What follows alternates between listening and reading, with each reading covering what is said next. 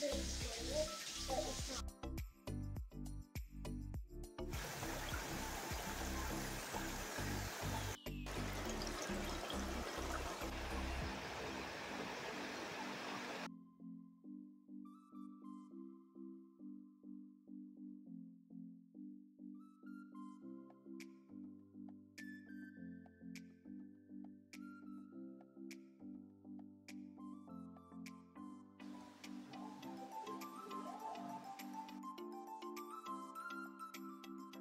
Them really closely, you'll see some uh, black dots and white lines.